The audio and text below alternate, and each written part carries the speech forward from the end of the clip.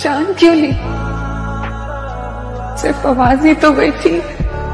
मेरी आवाज़ मेरा सब कुछ थी खुश है?